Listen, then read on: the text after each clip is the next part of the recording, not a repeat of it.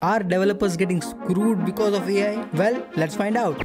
No, and I will tell you why, but before, let's understand the history of software engineering throughout these years. This started way back in 1940s and 1950s, where the pioneering days were there for software engineering. Before there were personal computers, there were hardware devices, and software engineering was very machine heavy codes where you used to write a machine specific codes you were writing the code how machine would be understanding it. And back in those days it was only used in very specific purposes like for scientific calculations military and defense systems and so on. Then later there was a shift from 1950s to 1960s where high level languages were introduced. And due to these high level languages there was an increase in software engineering or software developer roles where languages like fortran cobol lisp were introduced and people started using those and those were very high level languages but still better than the machine level instructions. Those were back at the time understandable by the humans because those were in plain English languages and because of that there was a good use of business application development and so on. So there was a rise in the software development roles.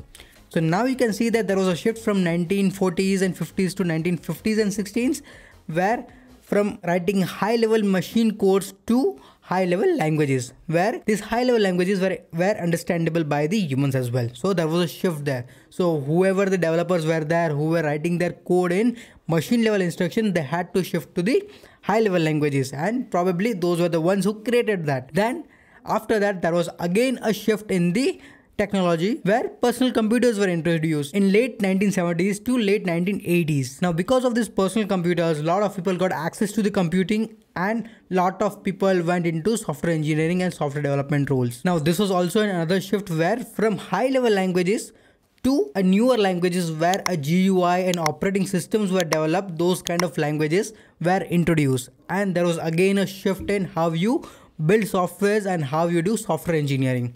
So there was a shift from writing your COBOL or Fortran languages to building the GUIs and building the operating system. So again a shift was there where engineers have to shift towards the newer technology where the operating systems were created, applications like word processor, Excels were created and so many more things. Then again a shift happened in mid 1990s where internet was introduced and a lot of web application has to be built. So there was again a shift from building your operating systems, building your application that runs on your personal computer to applications that run on the web on the internet.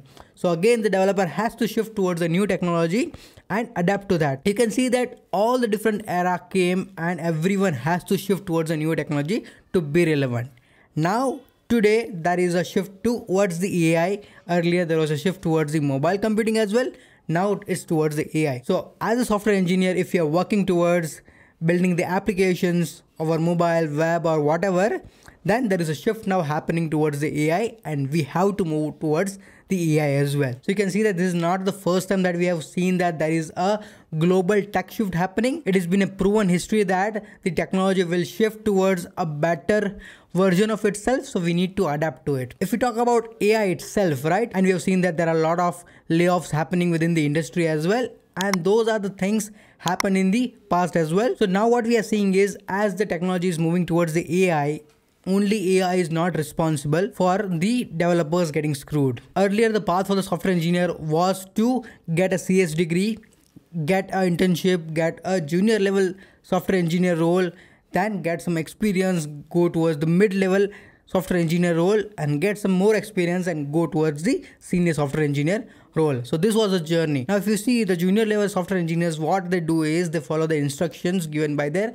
senior engineers. They do what is been asked to do. And now what we are seeing is those kind of tasks are being easily be done by the help of AI. But today AI does not guarantee that you will get a accurate output from it.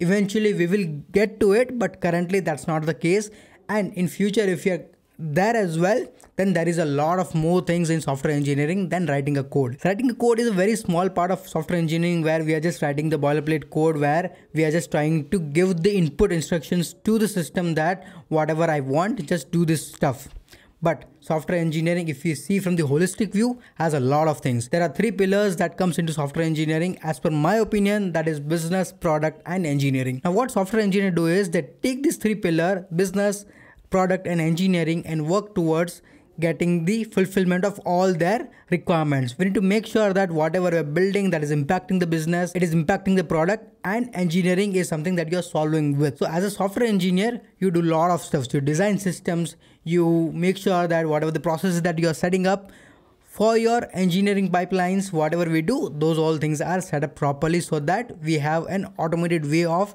doing everything which improves your business as well. So in my opinion if you see if we are being relevant within the industry and if you are learning new things within the market whatever it is coming whatever the new tech that we are seeing if you are with that then you will not be getting screwed for sure because the human intelligence will be needed everywhere. Artificial intelligence will not be able to each and everything.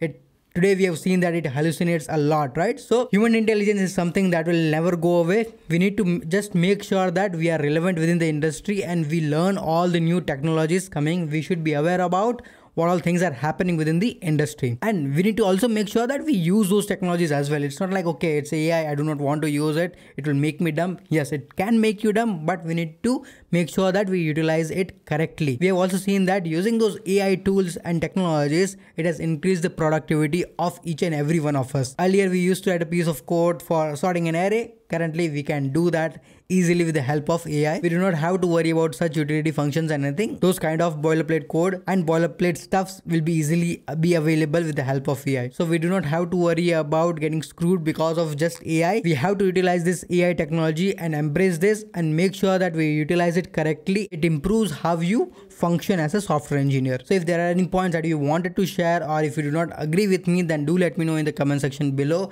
We can have a healthy discussion there as well. And if you like this video, give us a thumbs up and subscribe to my channel for the upcoming videos. You can also click on join button to join my channel and support me. That's been it I wanted to share with you today. I will see you in the next video. Till then, happy coding. Bye bye.